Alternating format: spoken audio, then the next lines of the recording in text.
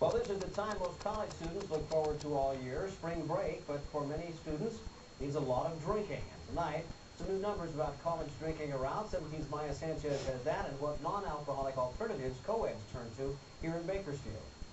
Thousands of college students are home for spring break this week, but what do they do for fun? Besides drinking? I can't really think of anything besides drinking. It's a trend researchers from the Harvard School of Public Health find has been holding steady for the past decade on campuses across the nation. But not all students bring the habit home. Basically, what my friends and I have been doing is catching up on sleep and trying to find ways to entertain ourselves during the hours we're actually awake. The number one antidote to the spring break blues in Bakersfield seems to be a healthy dose of Hollywood. Movies, there's not much to do here, which is why we're at the movies. I don't know, we're going to the movies, and I was hoping maybe we can go golfing. So whether they're hanging out at Jerry's Pizza in downtown Bakersfield or lining up for their chance to watch the latest film, college students agree you have to make your own fun in Bakersfield. That's the bad thing about Bakersfield is there's not really much to do. Uh, a lot of people complain about it, but I mean, you can always go play pool.